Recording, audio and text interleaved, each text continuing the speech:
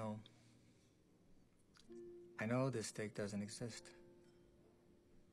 I know that when I put it in my mouth, the Matrix is telling my brain that it is juicy and delicious. After nine years, you know what I realize?